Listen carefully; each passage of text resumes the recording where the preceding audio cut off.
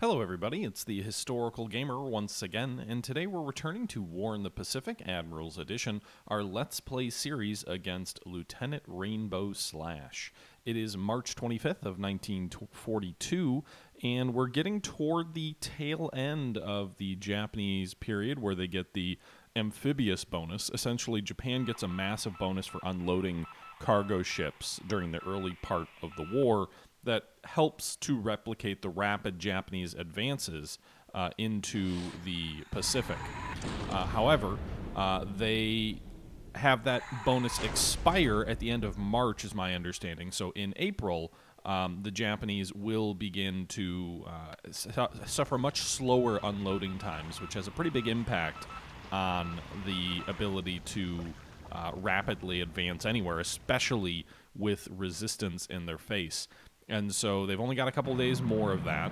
We are we just witnessed one of our ships getting torpedoed here off the west coast, and uh, we're getting the turn started here. We've got a bunch of landings of Japanese troops all over the South Pacific, a lot of fast transport landings, and um, yeah, so that's what's going on so far. Most of these are already in areas where the Japanese already sort of have control on the surrounding seas, so we're not really losing anything by them taking these bases, but they are sort of solidifying their hold if they want to start building some of these dot bases up into into something actually worthwhile. Moving into the air phase in the AM operations. Let's go ahead and fast forward this a little bit. Some recon occurring bunch of Japanese ships getting spotted in the Java Sea. We'll have to take a closer look at that. Meanwhile, Japanese Nell bombers are hitting our troops who retreated north of Moresby. So you can see he's using G3M Nells against our infantry formation that had been ejected from Moresby. Uh, we are trying to pull some of those troops out with transports uh, or with um, with Catalinas, flying boats, flying in to rescue a couple hundred soldiers, bring them back to Australia. But he is bombing uh, bombing these troops here north of uh, north of Moresby. You can see another raid coming in here, three more Nells. They're doing a fair bit of damage. These troops are really low on supply. They've got no uh, fortifications. He's got 17 Nells coming in as well, so he's he's deployed a fair number of his bombers to the New Guinea Rabaul area. If he's hitting them with 17 Lilies and also Nells, that means he's got at least one squadron of each of those. Uh, meanwhile, an SB-3 raid here in China. Our nine SB-3s hitting his troops that are moving toward Guilin. Another raid of six coming in. A lot of people say, oh, you got to be careful about your air power in China. You'll burn through too much supply. And while that's true, our supply in China has gone up by like 60,000 because of the Rangoon uh, flush of supplies. And so uh, I feel a little more comfortable using a little bit of air power in China just because of that. I'm kind of surprised that uh, he didn't uh, he didn't throw any cap up um, over those troops given we bombed him last turn as well. Okay. We'll have to see. There's a bunch of shipping in the Java Sea now, so it might make sense to unleash our uh, our twin-engine bombers, even though they're probably not going to be very effective. Meanwhile, 23 Ki-51 Sonia's dropping some bombs here to the west of Manila at Bataan on our troops there. Three of them were damaged by flak. One runway hit, no damage done to the troops. Another 16 Sonia's coming in here. So he's got a lot of his sort of second line dive bombers here. Sonia's uh, one destroyed, one more damaged. History of the Great War, thanks for the sub, sir. That's seven months. Appreciated. And another raid of Sonia's coming in here. Another one destroyed by flak. Pretty good day for the flak gunners of Bataan.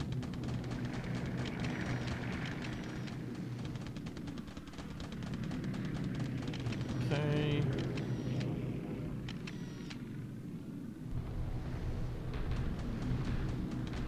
I am the Allies, uh, Big Mac, not Japan. Okay, so it looks like a, v, a squadron combined in Cairns. Some damage control occurring here. I think that's about it for the turn. Let's see if there's any land combat. Oh, I forgot to turn off my bombardment it at Bataan. So you can see he's got two divisions here of about 450 and 436 in terms of their AV assault value.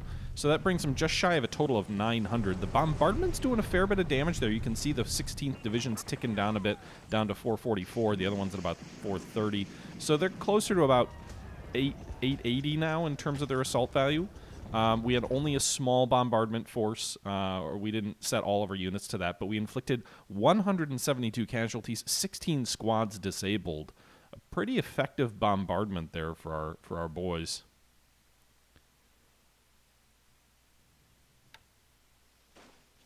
Meanwhile, Japanese delivered attack at Goodenough Island. It doesn't keep track of individual am well, it does keep track of individual ammo types, like, but it's kind of aggregated. So like, you know, you might have like a value of four for your 16-inch guns on your battleship, and you can consume that ammunition um, in battle, but it's not keeping like individual round counts for for the ship. It's it's it's averaging that out to some some level. It also does restrict where you can reload. So submarines can't reload their torpedoes at like a really, really tiny backwater port unless there's a submarine tender there, in which case the submarine tender will will refill them using the supply in the tender. Likewise, you can there's there are ships called AKEs and, and and AEs, I think, which are like ammunition ships, which can either do underway replenishment of ammunition for certain types of ships and weapons, or or um, in port.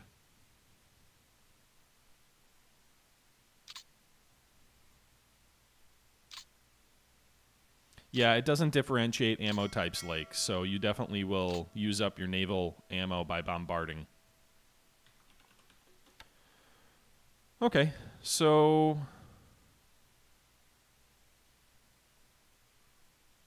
Let's see here.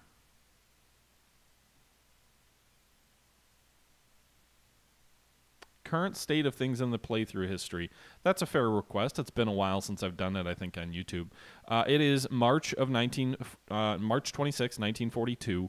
Uh, the Japanese have advanced far more in certain places than historical. They've already taken Midway, for example.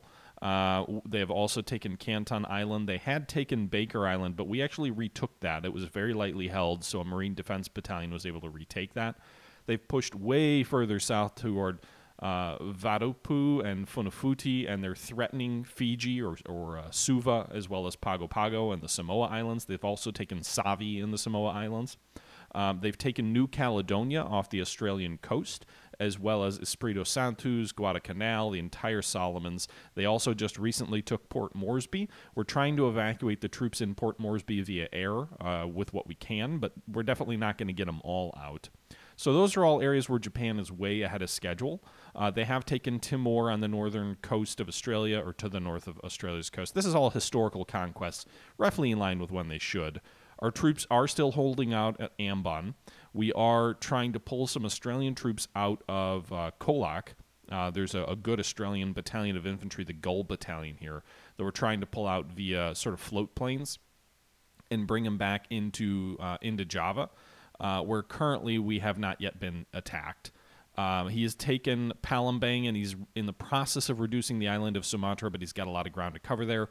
Singapore fell really late. Singapore didn't fall till like mid March, um, a little bit less than a week ago, I believe. So the fall of Singapore is a big deal, but it was delayed by over a, month from the historical date, which really put some other things behind schedule, I think. Kuching on the northern coast of, Borne- uh, coast of Borneo hasn't fallen yet, but everything else pretty much in this area has.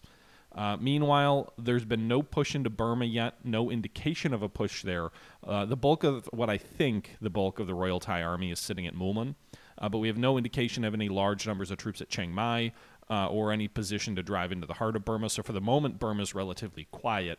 We have poured a ton of supplies like three, four, five hundred thousand supplies into Rangoon. The logic for that is that that when you have a huge amount of supply sitting here, we've set our, our bases up to China so that they draw this supply very slowly into China over the Burma Road. So the game gives you like 200 supply, or maybe it's 2,000 supply a day in China for the Burma Road, but we're supplementing that with another couple hundred that are being transferred via these bases inefficiently, but being transferred nonetheless over into China. As a result, the total supply value in China has gone up by over 60,000, which is pretty impressive. We've been driven back from uh, Sigatan, Changteh, and uh, Changsha here in central China, but we've reformed a new defensive line here uh, near uh, Chikikang, which is we're holding a pretty strong line behind a river here in good defensive terrain, and the enemy is showing no indication of wanting to advance in this direction. They have started advancing in the south of China again toward Guilin. We can see these seven enemy units have arrived at Guilin. Uh, but we do have some troops in this theater as well that are currently sitting here about 1,800 assault value. Not sure how strong his troops are here. Probably about on par. Uh, but our troops are sitting here in Guilin. Um, and they are uh, hopefully going to hold the base. We have a level 3 fort there, so that should help. Um, the terrain there is uh, times two defensive. It's wooded terrain, so I believe WD, I believe that translates to wooded terrain, which is a times two defense, or I guess it's forest, but it's still times two defense, plus the three forts. Um, meanwhile, the real big update this turn that uh, I haven't gotten to, to, show you guys yet, but he is making a massive flanking maneuver at, in the north of China at Sian. So Sian is obviously a key Chinese base. We've stymied his uh, advance in the south here by putting several corps in mountainous terrain south of Sian. Uh, they put in a couple of units here, but there there appears to be no real indication that they're going to be able to hurt us there. Um, but if we actually take a look, there is uh, a large enemy formation on the railway east of Sian. That is is a problem here. Right now, he's put one unit adjacent of one of our corps, the 76th Corps, which is currently sitting in WR terrain. WR terrain is uh, forest and rough, so it's a times three defensive hex. That's a very good defensive hex. So even if he has a full division here, we probably got a reasonable shot of holding out here because we've got over 300 assault value on the defensive in good terrain. The problem is he's got more troops on the way coming to the left here. And then it looks like if we hover over here, he's got 28 units here to the west of Taiyuan. Some of those units are moving east. Some of those units are moving west. I don't know how many are moving each direction, but we can see there's a little dot in each direction on this icon. It looks like there's a bigger dot moving left, so I'm assuming a large number of those troops are moving left, which makes me think he's in the process of making a flanking maneuver on Sian, which is one of the really important bases in northern China. Uh, the reason it would make sense for him to do this is a couple of reasons. If we look, there's a clear roadway. These red lines represent roads, so there's a clear roadway directly into Sian along the flank. The bulk of our troops are deployed to the south. We do have these troops here in good defensive terrain, times three defensive terrain, but if he breaks through this one unit here, the next hex has times two defensive terrain. It's rough terrain. The two other hexes beyond that are clear terrain. Chinese forces fighting in clear terrain against Japanese troops of equal or less size get rocked. Japanese artillery just obliterates, Japanese armor obliterates, and it really does put us in, in a rough spot.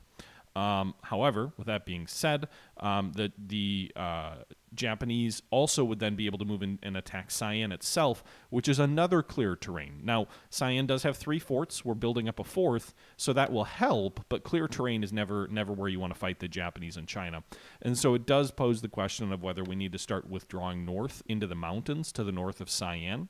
If we pull our troops into this rough and mountainous terrain up here, if we get them into this mountainous hex or, or these mountainous hexes up near Kuching uh, that will give us a huge advantage on the defensive. Mountain trains are times three in terms of defensive value. They also have a huge supply cost. So the Japanese units are, are more difficult to supply. Uh, and so that would that would hurt them presumably because of all their equipment and things like that. Now, withdrawing that far north does pose one problem in that, in theory, he could then use this this very poor road to push west uh, toward King Kao, and then he could flank and take Chongqing from the rear. He'd have to move through very difficult mountainous terrain to get there, or rough terrain to get there. But it is an option. Again, it, it's a the- in theory, it is an option that he could uh, he could uh, pursue. Um, so that's the situation in China. That's the big update in China. The other big update that I did want to talk about in this turn is it does appear that the Japanese are withdrawing one of their units, or maybe both of their units, out of Bataan. So we still have the Brit- the the um, the American forces and the Filipino forces in Bataan. Uh, they have not been really hurt at all. They still have completely full supply. Their supply starting to run low. You can see a full resupply for this entire force would take 7,900 supply. They've got 9,700. So I think that means they've got like a week of supply basically before they're going to start running short. Probably about two weeks, I would guess, before you start seeing these units in the red and really starting to suffer. Now, this poses the question if the Japanese are really pulling out, they have two divisions here for about 800 assault value, 850 assault value. We have uh, 1900 assault value for all of our troops. Most of our troops are Filipino infantry divisions, which are not as good in this game as Allied infantry or as uh, as American infantry units. They don't have enough heavy equipment. They've got a fair number of rifle squads, but they don't have enough heavy equipment. We do have the Fourth Marine Regiment, which is a very good regiment, uh, and then I think we've got the 31st Infantry Regiment, which is another U.S. regiment, uh, and then I think we've got some uh, uh, tanks somewhere uh, in here. Um, do we have armor? We do. We have the 192nd Armored uh, Battalion, which has M3 Stuart light tanks, 59 of them. So that would do pretty well against the Japanese in an attack. The thing is, if we attack, we're going to burn up supply at a much more prodigious rate. However, these guys are dead anyway. Eventually, they're going to die. They're stuck in a really bad spot. Bataan is a jungle hex, so jungle hex is a times three defensive hex. So that doesn't, or actually, it's a times two defensive hex, not three. So that's good. Um, likewise, apparently, Clark Field is JR, which I think is times three. I think it's jungle and forest or jungle and rough. Yeah. So if they do pull back, we're pretty much not going to have any chance because you go from a times two to a times three modifier, and the Japanese superiority means we'd never be able to really push them out. But if we attack them now, we might be able to so badly maul them that if we follow them up to Clark Field, then perhaps we would have a chance of driving them out of Clark Field. And who knows? I don't know what units he has in Manila, but if he's got 10 units there, but I don't know what. Um, if they're mostly like base forces or aviation forces or construction forces, we might actually have a chance to retake Manila. Um, so we'll have to see what that what that looks like. But that is something we could look into. Um, you know, this is uh, a really unique opportunity. I think when XTRG was in charge, he probably didn't bring enough troops to Bataan to reduce the, the location. If we attack now, we could shorten the defense of Bataan by two or three weeks if we if we fail bad and allow the Japanese a counterattack. But this is really the only chance we've got to give the Japanese a bloody nose in the Philippines beyond the defensive successes we've had so far in the south in Kagon on Mindanao, where our troops are now in really bad shape. I don't know if he knows that yet, but the uh, XTRG had attacked multiple times down here, failed multiple times. We wrecked several enemy infantry regiments. We're holding these guys in place for the moment, but our troops are going to starve out there very soon. Uh, the only thing is that uh, we do have potentially a chance to wreck two Japanese divisions. And if we attack very successfully, we could ruin two Japanese divisions uh, for some time. And that would probably be worth it. And, you know, maybe it would force him to divert troops to the Philippines that were bound for somewhere else. So we could consider a shock attack, uh, which has the potential to wreck two divisions instantly in one attack, but also has the potential to wreck my own force. It's it's a highly uh, volatile attack. Um, or we could do a deliberate attack, which would be less risky, but is more likely just to kind of shove the Japanese troops out of the way without doing much more than maybe destroying 20 or 30 or 40, maybe 50 squads. But it's not likely to cha- to hurt the Japanese bad enough, even if we win, to allow us to follow them up to Clark Field. So I'm I'm I'm erring on the side of you know what? Let's fuck it. Let's go for it. Let's just launch a shock attack in Bataan and see if we can accomplish something. It's almost April of 42 anyway. We're supposed to be surrendering very soon anyway if we're following like the historical timeline. So we might as well get something out of it right uh, if we take a look here, we can see that the uh, one of the other things to keep in mind is that the USAA or the USAFFE uh, headquarters is located here with General Douglas MacArthur still in charge. It has a hundred uh, hundred prep points for um, for Bataan, as well as all of the other headquarters units in the Philippines. What that does is when you have your headquarters in the same hex or in range, and you have the theater headquarters as well, which is the USA FFE, this is sort of the, the, the parent headquarters for all of the headquarters in the hex, you can get like a 100% bonus on your attack value. So you can get a much better attack in Bataan because these headquarters units are all in the hex and they all have their their their prep points up to 100. Um, and almost all of our infantry troops do as well. There's a couple of individual units that don't, but almost everybody else does. So, you know, the best case scenario to me is we attack two Japanese divisions, we wreck them. We follow them up to Clark Field, wreck what's left, advance on Manila, wreck that, take the industry, take the supply that allows us to hold out in the Philippines for longer and forces him to divert more troops to the Philippines uh, in order to, you know, take it as he needs to. That seems like a little bit absurd. Like, is that really going to happen? Probably not. But it does, it does, you know, that's best case scenario. Moderate best case is we just drive him back, but we can't follow up, or, you know, he has more troops in Manila than we thought. But I think it's worth it. I think it's worth a go. I think it's worth a try. So I think what we will do is we will launch a shock attack here uh, in this hex. It's going to consume a lot of supply, but the hope is that we just completely destroy him, or I mean, maybe not completely, but we we give him a real big bloody nose uh, and uh, do some damage to him. Meanwhile. Uh, the uh, what else is going on? The other big thing that we saw this turn is there's a whole bunch of Japanese uh, naval vessels in the Java Sea. Uh, it looks like there's a destroyer. There's five ships here moving west, so moving toward the Java coast. There are uh, another nine ships spotted north here with one heavy cruiser perhaps there's also three small three other task forces which this one might be like a fast transport task force this apd task force um, and this could be like a carrier task force uh, down here this could be like the mini Kido Butai or whatnot because it looks like there's 100 fighters and 77 bombers so this may be his initial effort to maybe get a small beachhead in java uh, to to kind of start reducing the island. I made a mistake, guys. I built my entire defensive strategy around holding Batavia, not thinking. What this does is this is a good base. It's a good hex. It's a good place to hold. If we take a look here, it is a UI, which is a light industry town, uh, which gives us a times two defense. It also produces its own supply because it has factories and stuff like that here. So it's got light industry, heavy industry, and, and resources. So it produces its own supply. But the problem is it's on a coastal hex. So he could definitely bring in battleships and things like that to completely overwhelm our defenses and bombard these troops into dust. So that was a mistake. We've got a lot of assault value here, almost a thousand that's just kind of hanging out here, but it's very vulnerable to enemy bombardment. Now, what we could do is we could move these troops into a mountain hex that's not on the coast, right? Like uh, Bandung is is perhaps a better place to shift all of our stuff.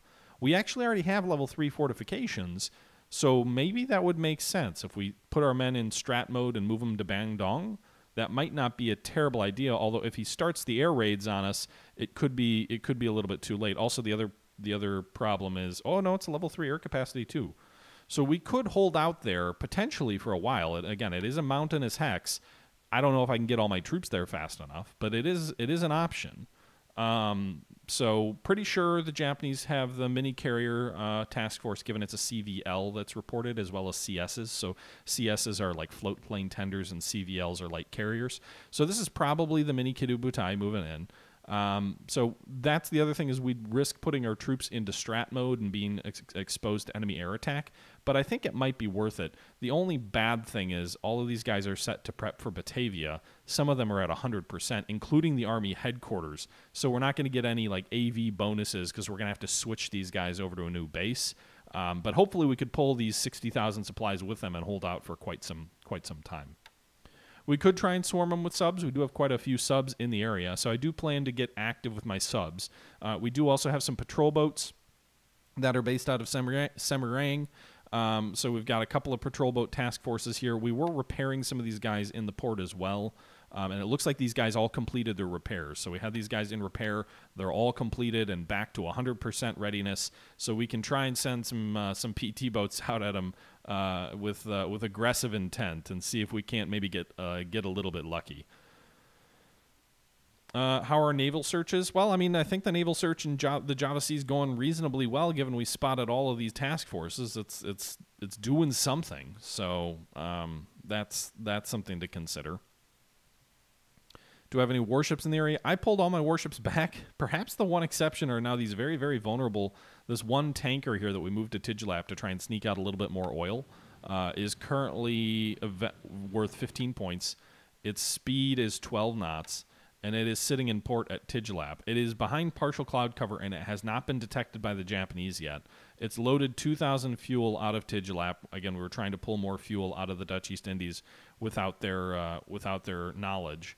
So perhaps we need to we need to pull it back further. Also, there's always the risk that he's going to sprint these carriers through past Oosthaven and try and raid our su- our supply situation here out uh, to the west of Java. That could be something to be concerned about. We are unloading some troops, by the way, at Cocos Islands, uh, the second uh, AIF Pioneer troops. So we are in the process of getting these guys down uh, to hold this atoll with a little bit more. Actually, it's not an atoll, is it? It's a full blown base. There's no stack limits. Well, there's a 30,000 man stack limit. But in any event, I'm trying to get some Australian troops here ashore. So you can see these. Uh, we've got. Actually, there's a pretty damn good unit. I didn't realize it was quite this good. These guys might be kind of stranded here for a while, but it's we've got over 40 assault value on this thing. So uh, so that's good. Are they two different pioneer battalions? The second first pioneer battalion and the second second?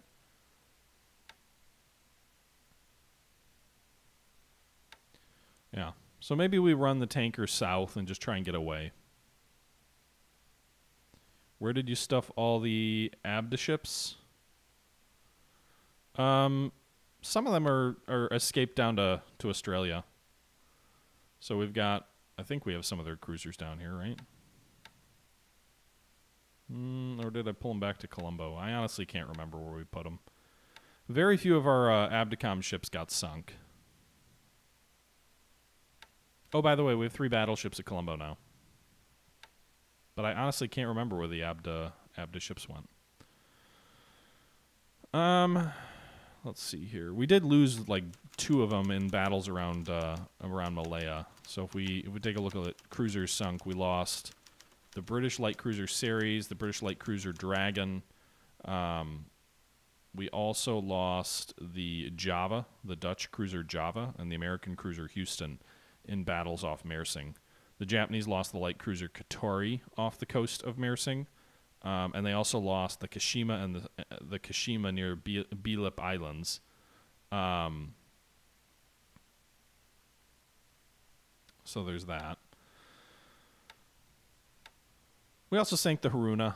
We know that. These two I don't think sank, the Kongo and the Fuso. I think that's fog of war. So that's the situation right now. Um, we have some troops that are kind of holding out to the north of Moulmein. We've got the 46th Indian Brigade, the 1st Burma Division, and the 18th British Infantry Division. From what I understand, the Burma troops are kind of worthless in game, but the British troops are okay. Um, we may want to pull the BFF Brigade back. I've been kind of trying to get it rested and replenished here. Uh, it's up to 50 dis, uh, disgruntled units, but again, it's primarily a Burmese force, so apparently they're not very not very effective. Uh, we could pull them back, perhaps, as to act as garrison. We do also have the 17th Indian Division, uh, which has Indian and British troops located in it. It currently has a fair amount of disruption as well. We're trying to get that down a bit. Um, so we've got about 426 at Pegu in terms of combat power. We've got about 901 south of Pegu, so that gives us about 1,300. And then Rangoon has another 144. We also have the seventh, uh, the seventh Australian Infantry Division on the way into Rangoon, which is a bit of a risk because the Japanese could attempt to sink it at sea with like G3Ms and Nells and stuff. There's no indication that they've spotted these guys yet. There's been no detection on this force, so that's good for us. The 7th Australian is a crack division out of the desert, 61 experience, 90 plus morale. These guys are an elite unit here that are on the way. Some of their equipment got left behind at Colombo, but I am in the process of, of getting it out. It's just support equipment, though. Um, the Japanese have also landed troops at Port Blair, you can see here, but they are uh, paratroopers and they don't have sufficient troops to take the base at the moment. Um, I've considered with these three battleships of Colombo sprinting into Blair and trying to bombard it. Not sure how many bombers and things like that he might have in the theater. We know he's got aircraft at Chiang Mai. We know he's got uh, quite a bit of aircraft at Bangkok, but we haven't seen any indication of his bomber force there. We do have pretty good fighters at uh, at Rangoon itself. So you can see here if we check out the base, we've got 99 fighters that are ready. We did uh, get rid of two Hurricane squadrons that were about to be withdrawn, so we we were managed to salvage their planes uh, and then re-equip some other squadrons with their aircraft. Um, there was a squadron of buffaloes somewhere. There's also some hurricanes at Pegu. Um, and then at Lashio, not sure where that other the squadron that had been Buffaloes is located now.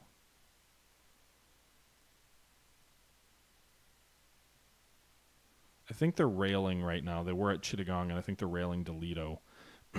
I can't remember where I put them. I also do have some reinforcements that are on their way south from Akyab. So we've got the 7th British Armored Brigade, which consists of over 100 Stuart 1 light tanks. So those boys will be really effective against the Japanese, but they're a bit of a march away. So we're trying to bring them down via the coastal road, which is the fastest way to go. If the Japanese attack in the next few days, obviously they're out of the fight. There's no way to sort of save them there. But um, but there's also a good chance that they get there because we haven't seen any indication of the Japanese being ready to move in Burma anytime soon. LAR one zero two zero one nine six six. Thanks for the follow, and O2PI. I think you're the follow. So yeah. Um, meanwhile, let's see. I don't think there's a lot else to show. We do have our carriers south of Australia at the moment. They are moving to the west coast, uh, just sort of chilling out there. We also have uh, loaded up a replenishment task force at Perth. It has 16,000 fuel. It'll meet up with the tankers at Esperance, well south of any likely Japanese uh, submarine locations. We're using Perth as our primary supply point, bringing supplies into Australia from the uh, South Africa. From South Africa, we've got 25,000 more fuel on the way from Colombo. There, we've got 24,000 fuel coming in on these tankers here. Uh, actually, cargo ships, I suppose. Uh, we've got uh, 384 aircraft about to arrive in Perth. Uh, two squadrons here of RAF groups. It looks like 16 Hurricanes and 12 Fulmars. So uh, 18 aircraft total, a 300 value of air, air weight. Um, and then we've got 420 air weight coming in on here. So this is a field artillery unit, the Australian Corps, an Australian Corps, the 11th RAF squadron of 14 Blenheims, um, RAF Group 222, uh, which is a badly needed base force that supplies like aviation support and things like that. Um, and that's kind of heading into Perth as well, trying to buttress up Australia a little bit. Um, while we're also sort of trying to protect Australia's supply lines by putting these troops into the Cocos Islands uh, to hold that base. Alchemist 00 or 00, thank you for the follow. Um, these tankers are returning, another 40,000 on the way into Perth here. Eh, we'll see, Co. I'm not going to throw everything that I have into Burma. I'm not strong in Australia at all, Co.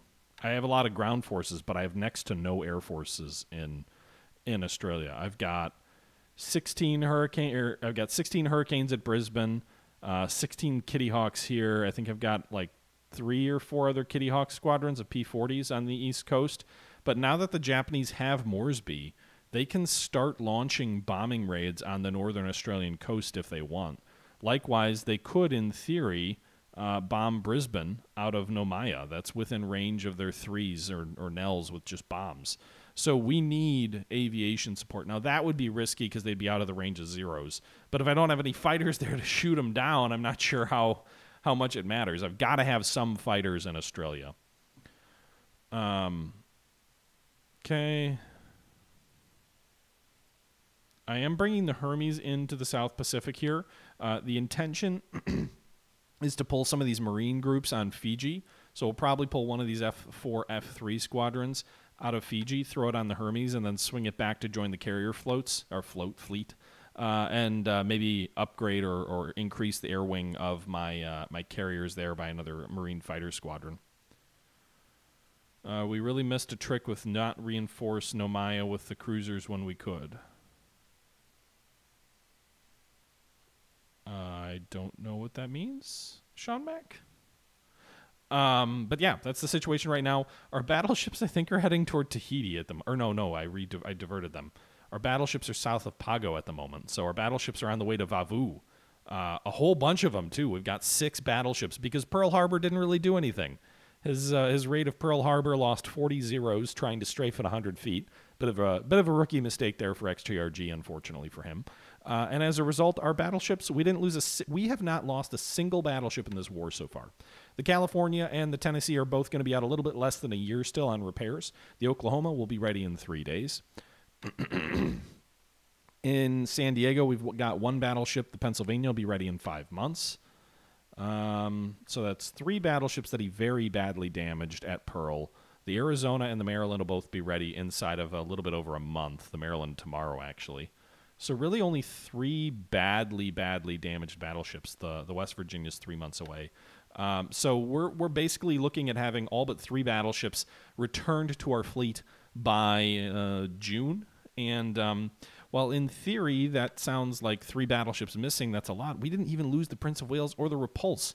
We fought off the coast of Malaya, but we didn't do the stupid suicidal run into enemy bombers. And as a result, the Repulse will be ready in about 43 days. The Prince of Wales is still going to be gone for a while. But the fact that none of these sank, that's like a division worth of or more worth of victory points that we didn't lose on any of those engagements. If we go and take a look at today, it looks like we lost six aircraft. The Japanese lost four. Two of those aircraft were Sonias on the Japanese side, two Catalinas on our side, one Teresa, one Zero, one Hudson, one uh, 139 WH3, one Hudson 3A, and one DC2. Uh, if we take a look at pilot losses, not that. If we take a look at uh, pilot losses, two of our pilots were KIA. Was Brownwall dead? I can't remember that, but I can't remember if he was dead or not. But you can see here a couple of our aces are dead. We've got a good number of aces, though. Leading ace is still T. Cole, who unfortunately was lost. B.D. Wagner, who was one of our other top aces, is in the pilot training pool. We pulled him out of the front line, uh, so he is training groups. Uh, meanwhile, the rest of the guys are all still forward deployed. Um, if we take a look here, ship availability, what do we have coming up? Looks like we've got an AMC Minesweeper in four days, the submarine Drum, Fleet Oiler Cimarron, uh, the Corvette Dunadas uh, in six days, the J. Franklin Bell in seven days, the Pakenham in eight days, as well as the Cape Alvia in Cairo City uh, a tanker in nine days. Nothing really substantial. A couple destroyers, but the next substantial reinforcement of ships is the heavy cruiser Devonshire in 20 and the light cruiser uh, Atlanta in 20. Also, several submarines come on that day. Several troop transports come in on that day. Uh, and then just shortly after that, the British carrier Illustrious comes online, just a little bit over a month away uh, as well. If we also go and we take a look at what else am I going to look at here? Um, ground reinforcements. Uh, we have some big reinforcements coming very soon. So, not the Middlesex Battalion here, but if we take a look, we've got the 9th U.S. Marine Regiment uh, coming in six days in San Diego. Um, I've been toying around with the idea of using a, a, a, an initial sort of surprise counter invasion of Midway, perhaps using some Marines there uh, to try out an amphibious strike, uh, maybe in a month or so. Um, the Marines would be a good sized unit given that it's an atoll to not get themselves savaged too hard. We have the 7th, 70th British Division will be arriving in India uh, in six days, but it's only 50 uh, AV and it's locked to operating within India. And then we have three British infantry brigades, the 23rd, 16th, and 14th, which will all be arriving in the Middle East, and we can throw on transports. They're 80 experienced units. These guys are crack troops all arriving in Aden, as well as the 45th Recon Regiment. So this is basically a crack British division. For whatever reason, they don't link together as a division, as far as I can tell. But uh, that'll be a crack British division here, a total of about 400 assault value arriving in the Middle East in six days, as well as the 26th Indian Division, which will also be arriving in six days. So we're going to be getting uh, on the order of 750 very good assault value uh, arriving in uh, in the Middle East uh, or India in the next week, and we can we can push those guys forward as well. Uh, so we can uh, so we can strengthen India. So like my plan is to defend in Burma, but I realize that a forward defense of Burma is very risky, and so we will likely lose there eventually. And so that means we can't let India be this empty shell that the Japanese can push into and get a ton of victory points. So my plan is to use those 400 assault that we're going to be getting back to reinforce Sri Lanka and to reinforce India itself to ensure that he can't quickly follow up uh, and attack. He, he'd be it'd be very difficult from a supply perspective to do so. But if we don't have troops in place to stop him, we can't. So that's what those troops are going to be used for, in conjunction with the troops we already have in India right now. Uh, meanwhile, what's our political point situation look like? 1553. There's one division I did want to try and unlock. Uh, I need to find where those where that was. Let's take a look here. Is it the 40th? I don't think it's the 40th. No, they're 2300 because they're a, they're a bigger division. Uh, 27th. Yeah, so the 27th, in theory, if we don't spend any political points this turn, we will get 50 more points at the end of this turn, and then we will have enough to unlock the 27th Infantry Division, so unrestricted headquarters, so we can move this division off the U.S. West Coast. It's currently set to not take replacements. That's what you want to do when you're playing this game. You don't want U.S. West Coast forces to have replacements on. The reason is if your replacements are on, they'll suck up all your troops in your pool so that you don't have replacements for your troops in your forward positions. But equally as bad, as these units get larger, it becomes more politically difficult for you to unlock them for use where you want. So, a uh, locked division, for example, with 200 infantry squads is 1,500 points for you to go ahead and unlock. Whereas the other unit that we had just looked at, the 47th Infantry Division here, or the 40th Infantry Division, has 273 squads. So they have 73 more squads, some more other equipment, and they will cost 2,300 to unlock. So we definitely don't want to do that. Their replacements are. So apparently their replacements were on, which is probably why this unit got built up toward its TOE uh, and was was more expensive. I, I really I'm a little bit annoyed at myself that I did that because you only get 50 political points a day. So your replacements should pretty much always be off on any US West Coast units unless they're already unrestricted and you're trying to get them ready to head out to head out to, to combat. What's the plan for all that assault value? Um, where in India, the plan with the British units is to um, bring in maybe a brigade into Sri Lanka to reinforce the position there, maybe two brigades. Put the other units into India so that when we lose in Burma and the troops that do retreat are kind of a uh, bombed out Hulk, we've got other units to sort of plug the gap and defend India against a Japanese advance.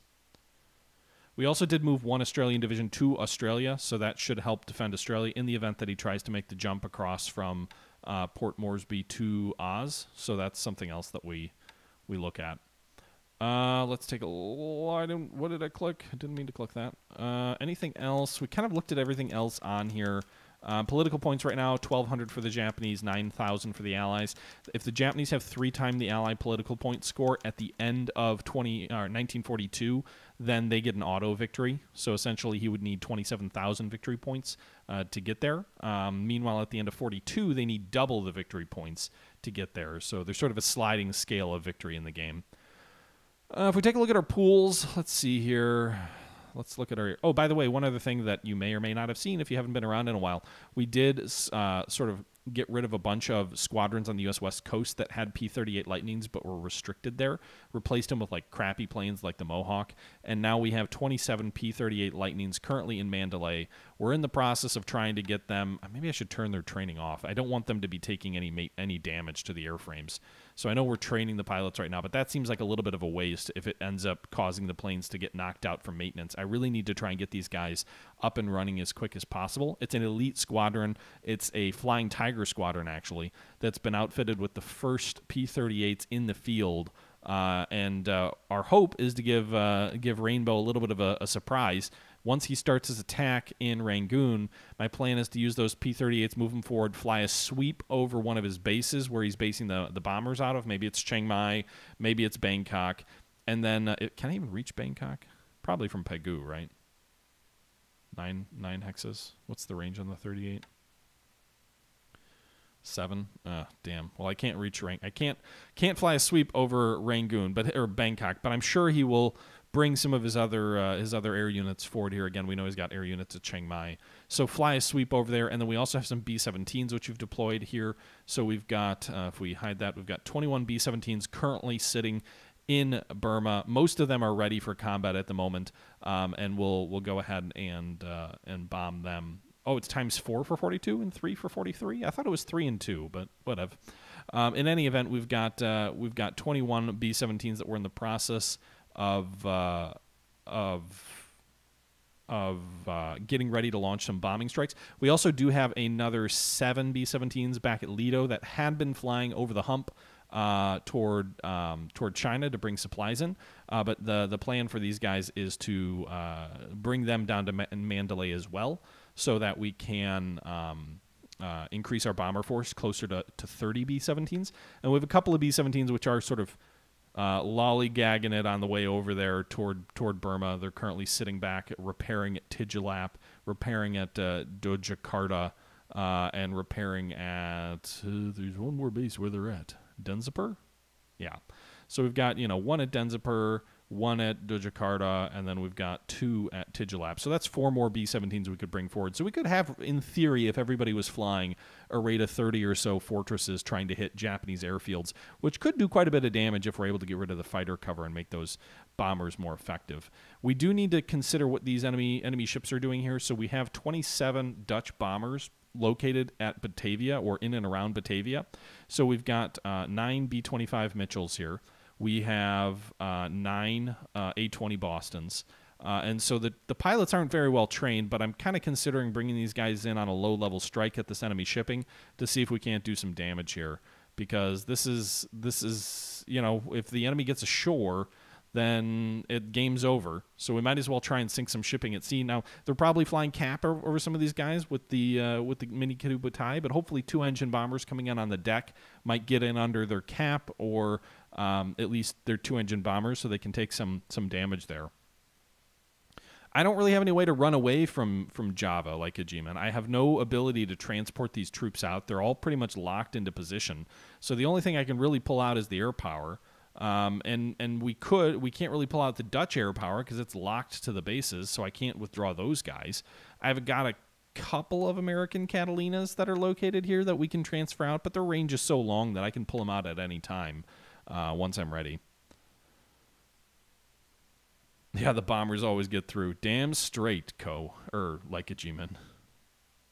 Or Lake. Oh my god, I'm I'm seeing him uh, um, unloading some fuel in Australia. So there's that.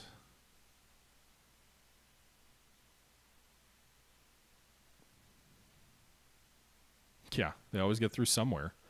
Um, what are these guys unloading? I think they're anti-aircraft guns. Yeah, we're bringing Pago some some AA, some ACAC Meanwhile, we've brought a uh, replenishment, uh, an, an, auxiliary ammunition replenishment vessel, the Pyro. What a great name for a ship that carries like 16 inch shells or whatever, uh, into Vavau to help uh, support the battleships that are moving in that direction. What's the title of this video, Charcoal? Um, I don't know. What should the title of this video be? It was a pretty quiet uh, it was a pretty quiet turn.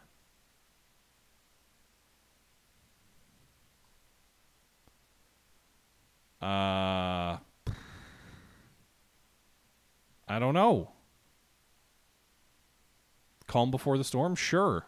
I might have already named one that. You'll have to go back and double check, or I can after the stream. But calm before the storm works. Or ship spotted, sir. Given all these ships in the Java Sea, he knows we know they're there. Um, yeah, so uh, either one of those works. I don't think Ship Spotted Sir is the best name. Calm Before the Storm. A nice cup of uh, cup of Java, cup of Joe. I don't know. All right, so that's probably gonna do it for this turn. I don't I don't have a lot else to show. By the way, where is the uh, the Hornet? Oh, she's coming in. So the U.S. Uh, USS Hornet, a new carrier, just arrived in theater on her way to Pearl. Uh, obviously, all the other carriers are way far away, but just trying to get her into Pearl. Um, does she get an upgrade or an up, update? Yeah, she has an upgrade in four days. So maybe since she's just going to be at Pearl, we'll just immediately give her the upgrade. Uh, that will give her some more anti-aircraft units. It'll give her some 20 millimeter Oerlikons to replace the 50 caliber machine guns. So those will be much more effective anti-aircraft pieces. The 50 cals really aren't very good. The Oerlikons are very good guns. Get even better once we get uh, some of those proximity fuses. Uh, looks like we add a few new 1.1 uh, inch anti-aircraft guns. Are those the Chicago like telephone poles? I forget what they're called. Might be that. Um, and do they get new radar? No, radar's the same. Um, so yeah, that's the situation there. Let's do one other thing here. Let's take a quick look at our pools. So troops industry resource pools. Uh, nope, not that. That's not what I wanted. I didn't want to look at how many mines we have. I wanted to look at aircraft pools. Where the hell are those? Replacement pool. Here we go. So if we take a look at that, let's hide the Soviets because they're they're not involved at the moment. You can see here we have 47 Helldivers in the U.S. Army Reserve, 42 Fulmars. Oh, great. All those aircraft suck. We do have 39 P 40E Warhawks. That's a very healthy stock there for when some attrition kicks in. Um, 38 A24 Army Dive Bomber Banshees. Those are the, the Dauntless, but in the Army configuration. 38 Australian Wirraways, which suck. 30 Dutch CW 22 Falcons. These are basically kind of light bomber recon type aircraft. Um, we've got 24 P-36 Mohawks, which are decent, I think. They kind of look like the P-40, um, P-47, but with a much weaker armament. Their problem is they're very maneuverable. Their fundamental problem is they have two machine guns, a 50 cal and a 30 cal, so they have no striking power. Uh, meanwhile, we've got 23 F4, F3 Wildcats, 23 P400 Airacobras, um, and then we've got 21 PBY5 Catalinas. That's a those are Dutch Catalinas, but that's a good amount. Um, 20 Hudson threes for the British, uh, some Buffaloes. We've got 16 P38 Lightnings, which we're not even producing yet. So we've got 16 reserves for that squadron of 27 in the in Burma. Uh, we've got 15 Canadian Kitty Hawk ones, uh, 15 British Mohawk fours, 15 British Albacore 1 biplane torpedo bombers, um, and 13 Dutch B 25 Mitchells. So that's actually a good, a good quantity of Dutch Mitchells there for us to use uh, as replacements in Java should should these air raids get beaten up a bit. So yeah, um, I think that's probably going to about do it though for this particular turn. I don't have don't think I have anything else to show. Anything else you guys want to see? I know we've only been going for about an hour, but usually these War in the Pacific streams aren't too long. I've got some other stuff going on, so I'm not going to extend the stream or anything like that. I don't have uh, don't have anything else to show you, and I'm not going to play anything else tonight. So this will end up being a little bit short, but I do hope you guys enjoyed it. Before we let you go, any other thoughts, questions, anything you want to see? Chaplain, I'm in the process of reworking my submarine force, so I will let you guys know more in a few turns, but I don't yet know exactly what I'm going to be doing with my subs yet. They've been really ineffective thus far. Um, what do the French have on Tahiti? Not much. Uh, so we've we've brought in some tankers in Tahiti uh, so that we can use it as a stopover point. Um, we have the Americal Division, by the way, just refueled at Tahiti, at least partially, and is uh, is on its way to Australia still. So we've got this one really good American division is finally starting to get close. Well, sort of. they're not too far away, uh, but they're they're starting to get in the vicinity of Australia. Uh, it would be tempting to take them around the coast of Australia and swing them into Burma, but I don't think they'd arrive in time. We also do have some other shipping on the way to Cape Town with a bunch of troops and aircraft. So if you see here, we've got uh, this group here, some uh, aviation, the 53rd Separate Infantry Regiment, some artillery, the 1st U.S. Marine Corps Air Wing, all of these guys are on their way to Cape Town. So once they arrive in Cape Town, there's a lot of places we could send them, but the real powerhouse here is the 53rd Separate Infantry Regiment. They've got like a hundred and something U.S. rifle squads. They're light in equipment. They don't have like tanks and stuff like that, but they're a pretty decent unit um, once they get trained up and uh, well equipped. So we can deploy them somewhere, maybe into Burma, the problem is their convoy is 20 days away. So once they get to Cape Town, they're 20 days from Cape Town. To go from Cape Town to Burma is probably another 10 to 15 days. So you're probably about a month away from them arriving. But there's also a good amount of aviation support there too. So we can throw those into India if the situation uh, goes from bad to worse. Meanwhile, we've also got the 70, 754th Tank Battalion here, which is another really good unit. Oh, wait, that's an infantry battalion. Uh, where is the tank battalion? The 754th Tank Battalion here. So these guys have uh, what, like a total of 59 Stuart tanks on them. So that's another nice striking force that we could put into uh, into India or into Sri Lanka as needed, or uh, send them to Burma if the opportunity still exists. So that's another very good unit that we have on the way. They're 10 days um, away from Cape Town. So these guys are much closer. So a nice tank battalion there. There's an infantry battalion here. It's a small-ish unit, but uh, 30 U.S. infantry squads can can definitely be in, be useful. Um, and then we've got a pursuit group. So we've got 25 P-39 Air Cobras, which can come in that way, and then the 110th Combat Engineer Battalion. Not 100% sure where we send these guys. We could send them to like reinforce some of these islands like Cocos. I really want to hold Cocos. I think it's really important because if he gets bombers there, that's going to fuck anything up with bringing supplies down from Cape Town, down from Colombo uh, or India. That's going to c- really ravage our ability to effectively have Australia and uh, and Sri Lanka be in communication with each other. So I could send them there, or I could send them to Burma again, depending on the situation there. But those guys are, are among the closest uh, around. We also have some more air groups here, a bunch of uh, air groups actually on the way to Cape Town that could either go into Western Australia or into Burma. The reason I sent these guys, it's a longer route to go around the the Cape. The reason I sent them there is twofold one, it's a much longer route to Australia to go this way, but the Japanese carriers were sort of venturing forth as if they were going to interdict our shipping to Australia. So I didn't want to risk getting these guys sunk at sea because you can see like there's a huge amount of really good aircraft here, like 100 plus modern fighters on this on this group, as well as some B-26 bombers and some Banshees. But the reason I sent them there is twofold. One, I didn't want to risk them getting sunk by Japanese carriers that might have been on a raid between the US and Australia. Two, I wanted to give myself more flexibility. So I lost some time, but I gained some flexibility because by sending them here, I can either send them directly to the Indian theater or I can send them to the west coast of Australia. So by the time, if I had committed them to Australia, I would have kind of committed them to the longer route to Burma in the event that I changed my mind. This gave me more flexibility at the cost of some time.